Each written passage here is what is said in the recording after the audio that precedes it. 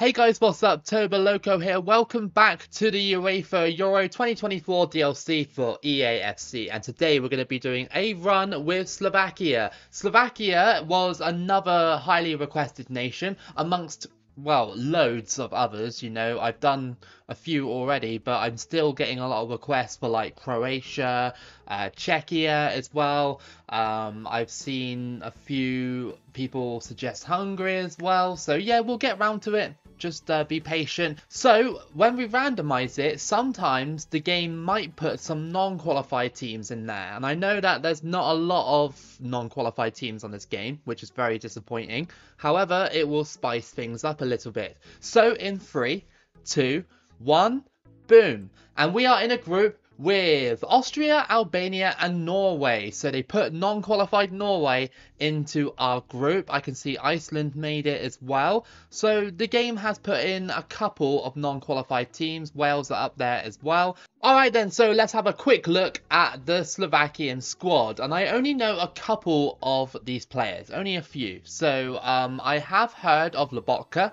I've heard of him before and I've heard of Skriniar as well, of course. He's uh, quite a famous defender. And Dubravka in there as well. Um, used to play for Newcastle. I'm not sure if he's still there or not. The most famous Slovakians I know are obviously um, Martin Skrtel and um, Hamsik as well. And I'm absolutely showing my age with those two footballers' references there. But yeah, these guys I don't really know too much.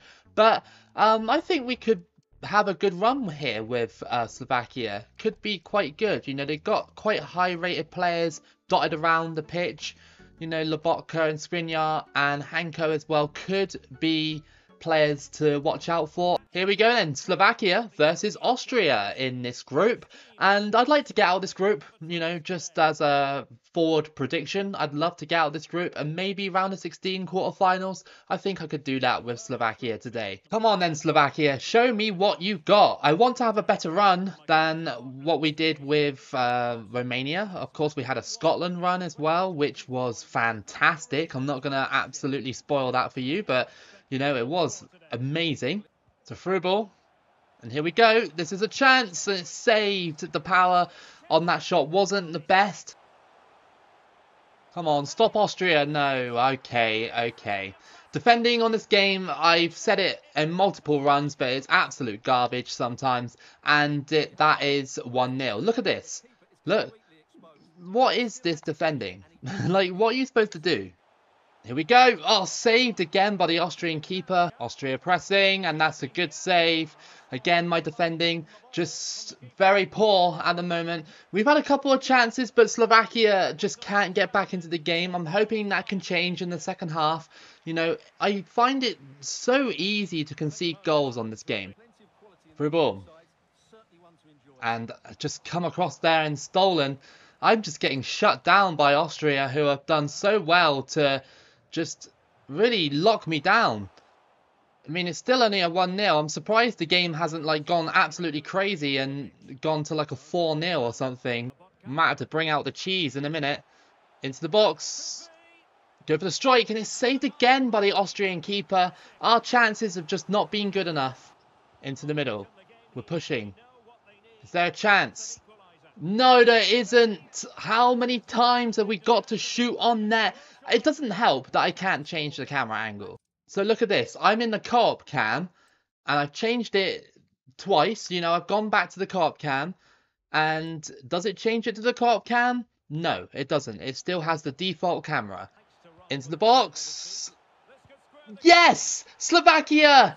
Late equaliser and it's Bosnic with the goal and we've rescued this game. How many times, how many times did we have attempts on goal and we couldn't do it but Slovakia have equalised and that is 1-1. Okay, well it's going to be a draw but I mean Austria were probably going to be a tricky side anyway. There always are on this DLC. A draw against Austria, that's fantastic. We move on to the next two group games. So Slovakia's next match is going to be against Albania. I actually haven't faced against Albania in this DLC yet. I played as them, and they were a decent team, but, um, you know, going against them, I have no idea what they're going to be like. Given away by Albania, can we press upfield? with Slovakia. Good ball movement. A bit lucky, but we scored, and that is 1-0 to Slovakia, and that's number 8 with the goal. I can't really tell who it is. Sorry for my poor ball knowledge, but yeah, it's 1-0. Go on, keep going. Slovakia keep running here. It's great passing play, and that's 2-0. We are overrunning Albania now, and that is 2-0. And Bosnic has scored again in another match to make it two for Slovakia. This could be an easy match if we can keep going like this and attacking this well. You know, I don't think Albania have sort of the talent to stop me. Go on, go for the power shot. Oh, it's saved. I don't think it was much power in that one, but we still got the ball back. And Pekarik, no, not that time. And that's going to be half time with the score at 2-0 to Slovakia. It's looking good. A through ball, and here we go. Their chance, yep, it's 3-0, and that will be game over. Bosnic has scored to make it 3. That's another goal for him at this tournament.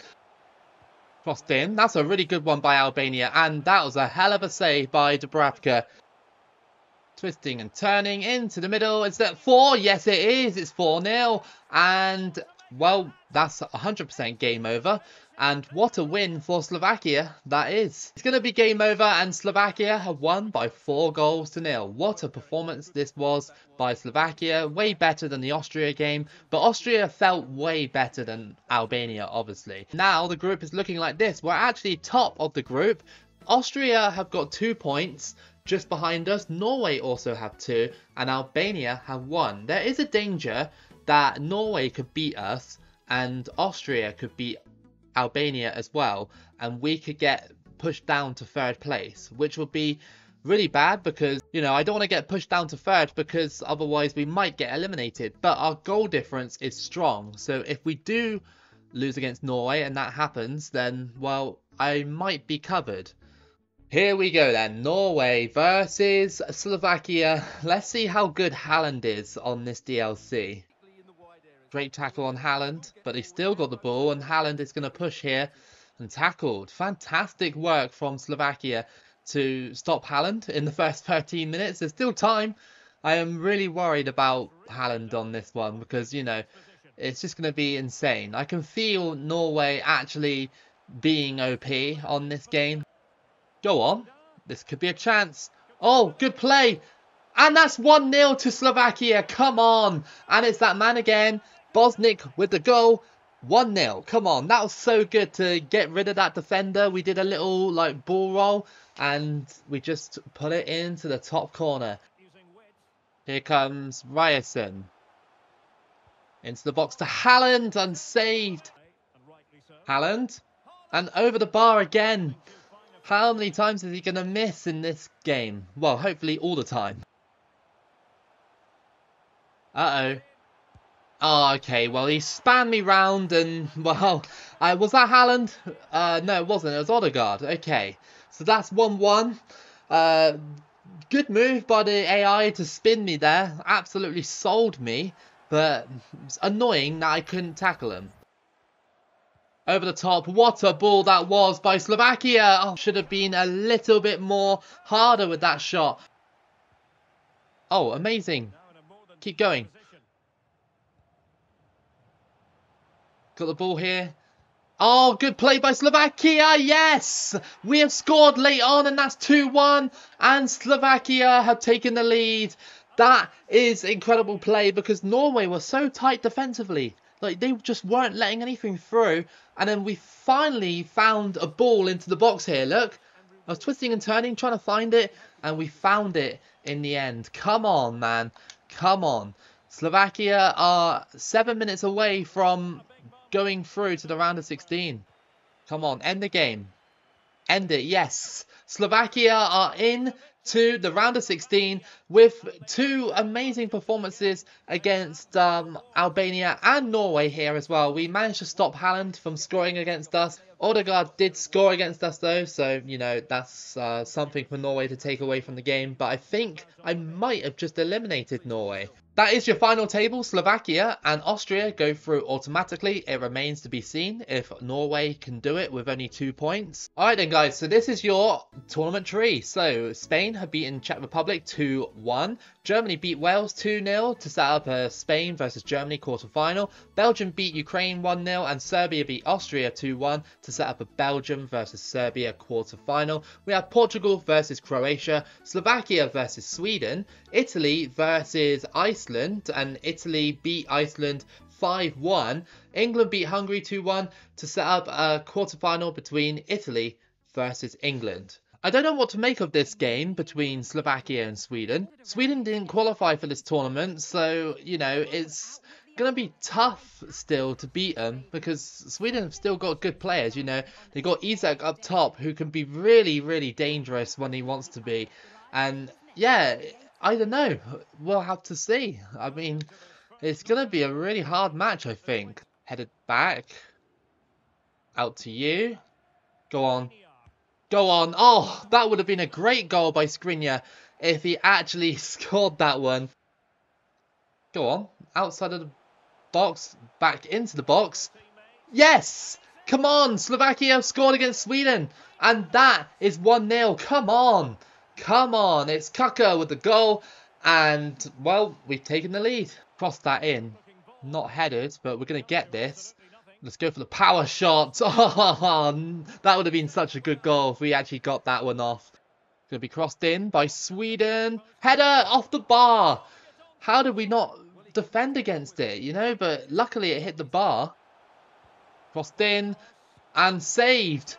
Now we're under a lot of pressure from Sweden. It felt like in the first 20 minutes we gave Sweden a lot of pressure and we scored from it. But Sweden just cannot find the back of the net despite all the pressure they put on us. Crossed in. Headed away.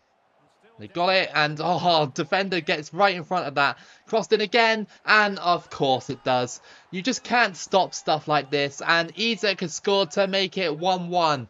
Just so annoying, you know, like, the shot came off my defender's face, and then nobody defended that cross, pretty much. It's so frustrating, it just feels so arcadey. Go on. Good play. Slovakia. Uh, I just got pushed over, but hold on. Yes, it worked out in the end, and that is 2-1. Duda with a goal, and Slovakia have retaken the lead. Karlsson crosses that one in, an overhead kick from Isak. 10 minutes to play. Can we be strong against Sweden, or will they get an equaliser? Kulusevski crosses it in, and Isak saved. Our goalkeeper, Dubravka, has been fantastic in net so far. He's still got eight minutes to show us that he's a brick wall, but he has been absolutely amazing. Literally a minute left, not even a minute now. Two minutes of added time. I'm trying just to get someone down here. It's going to be a corner to Sweden in the dying seconds of the game. Goalkeeper's coming up for it. Please, no. Don't you dare. Goalkeeper's trying to mark me. And header saved. Oh my goodness. How scripted is that moment? Genuinely. How scripted is that moment? Like, Dubravka saved it, but it went into the path of Isak and it just went in. It's so BS, man. It is really BS. Like, like yeah, it's good for the run because obviously the entertainment factor and stuff like that. But look at this. Crossed in. Header. Saved and into the path of Isak, where I could do absolutely nothing about it. And yeah, that's game over. So um, we go into extra time. We could have won this game, but now we've got to do extra time. Oh no, that was terrible defending. And again, Isak's going to get one of these BS goals. I hate it so much. I hate it so much. Dubravka saved it again, but it just falls into the path of Isak. Such an annoying way to get eliminated. I reckon we'll get eliminated now because, you know, the computer will just be stingy in defense, and I don't blame them. But, Tan, man, like, how many times has that happened?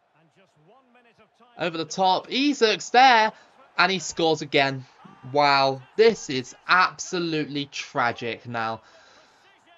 Oh, well, that's the end of the run. I mean, that was a good goal. The ball over the top was incredible. But the two goals Isak scored the one in normal time was BS because Dubravka palmed it to Isak, and then the second one was another palm to Isak. Like I like the, the fact that we can get next generation, um, you know, tournament modes and stuff like that on these games. You know, even if they are you know half-ass DLCs, but still, like just the gameplay of EAFC is just oh, it just leaves a lot to be desired.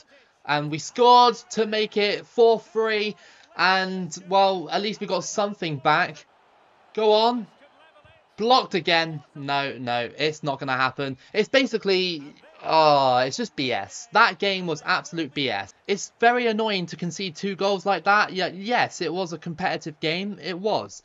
But I should have won it in normal time. You know, yes, 2010 has its exploits and 2014 is really difficult and stuff like that, but EAFC, man, like, it just brings it to a whole different level. But that's your quarterfinals, and this is the end of your run. So, if you did enjoy this run today with Slovakia, which was a decent run to be fair into the end, then give it a like and subscribe. Tune in next time for more Euro 2024 content and um, scripted runs from the computer. And um, keep it Loco as always, and I'll see you again for the next video.